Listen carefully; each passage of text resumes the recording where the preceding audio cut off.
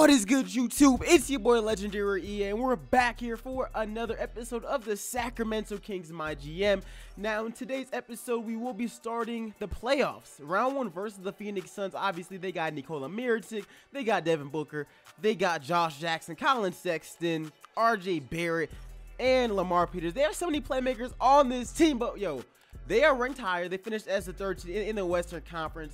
Uh, obviously, we finished a lot lower. Let's see if we can hop into this matchup and actually walk away with the victory. I think that it should be really, really, really interesting.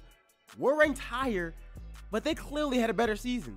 So let's get straight into this matchup. Let's see if we can walk away with the dub. Let's get it.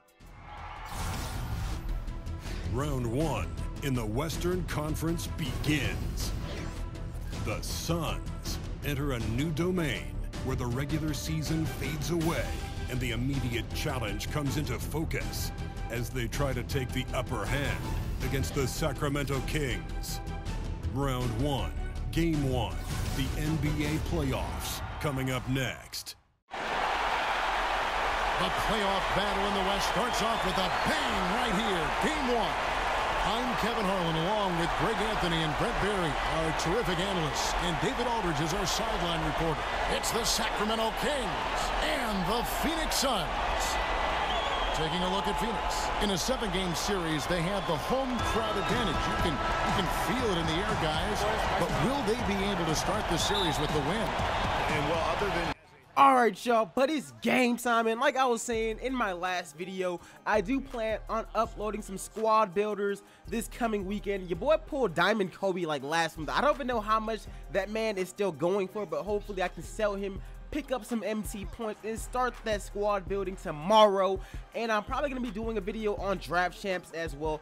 All I'm saying, y'all, fire content is on the way. Fire content is on the way. You guys already know whenever I put out a video, it's automatically fire. All right, it's automatically fire un unless YouTube ruins it and does not convert it to HD because all of my videos are converted. Well, they are rendered in 1080p. So if they don't come out on HD on YouTube, look, fam, that ain't even me. But getting into the gameplay right now, we are up by 3 points, 16 to 13. There's Josh Jackson. He's knocking down that mid-range shot. Here we go. We're getting the block. Alexson is he's missing the put the putback. Bagley gets the ball. When we're passing off to Trae Young, he's passing it off. We find Rodney. Here we go. Right back to Bagley. We find Trae Young. Green light. That's money. That is money. As we as you guys know in the last episode, Bagley did walk away with the defensive player of the year, and Trae Young walked away with, with most improved. You guys are gonna see in this game that Marvin Bagley, he breaking records, man. He, he he's breaking playoff records for this team. And I just like the direction this team is going. And I mean, this is the third season. We actually made the playoffs this year. We have a pretty solid squad. And I personally think that if maybe in one or two seasons, we could actually be legit contenders depending on who we are able to sign this coming off season clearly we I, I, think we are the we are the sixth seed we're something like that. We are we are one of those seeds and and and since this is realistic I, I do believe that we would be a really hot free agent spot for any top free agent probably probably towards the end of their prime or or maybe even somebody in their actual prime. We have we, we have a point guard who who averages like 11, 12 assists a game, still puts up like 13 points. We have a shooting guard who, even though he is undersized, he is capable of getting 25 points a game. We have Bagley, who was an all-star in his second season. We have Romeo Langford coming off the bench, Rodney Hood, But we have so much potential on this team. And next season, I think that we can be legit contenders if we sign the right free agent. We have the cap room for it. So let me know what you guys think about that. But let's get back into this gameplay. De'Aaron Fox to Bol to Trae in the corner for the three. I think that I think that it is blasphemous how Trae Young was not in the three-point contest. This man be getting buckets.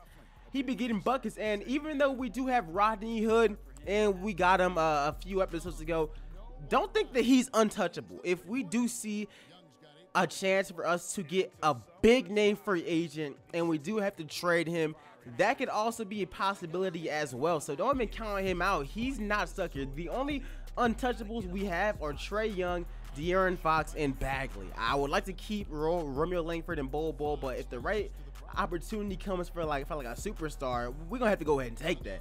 Right now we are up 62 to 51. Bagley gets that putback. And yo, this man Bagley had like 11 rebounds in like the first quarter. This man was killing it. Uh, we do kind of choke in the fourth quarter. We are up by 10 plus points, but you guys are pretty much gonna see it right here.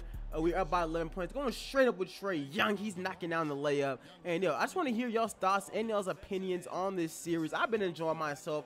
Uh, I do like I do like this series. I also liked my Dallas Mavericks one. And whenever this series is finished, if we're still doing my leagues and my GMs, uh, I'll probably choose another another pretty solid team where I could draft my own players. I don't want to be rocking with their own draft picks. I want to pick my own. But yo, this was a part I was saying where we where we were choking. We are only up by five right now. We're only up by five. Collin Sexton knocks down the three. We're only up by two. Come on, don't choke, man. Don't choke. Here's Josh Jackson. They take their first lead of the game, and we choke, man. We did choke, but don't forget who we have on this squad. Bagley has over 20 rebounds already, and that was the record he actually breaks for this team. This man is already in the 20s for rebounds in the playoffs. We ain't going out like, like that. Even though we choked this lead, it's just because the game was getting a little bit boring. Bagley right now is 23 points, 21 rebounds, but as I was saying before, we only choked because it was getting kind of boring. But don't get it twisted. We are not going to be losing to the Phoenix Suns after having that big of a lead. We come back, and in the end, we do win 87 to 81. And we, we were just getting the buckets because we were just taking threes and just playing around, and we were choking a little bit. We got back to what we started with, and of course, we won. Devin Booker finished up the game with 19 points. As for us, Bagley with 25 and 23 gotta be a playoff record. I'm not completely sure if it is, but it definitely has to be. Trae Young with 20 points, De'Aaron Fox with 19 and 7 assists, Langford with 12, Hood with 6, Bol Bol with 5 and 10. This was a great team effort, great game one. Let's see if we can take the 2-0 lead in game two.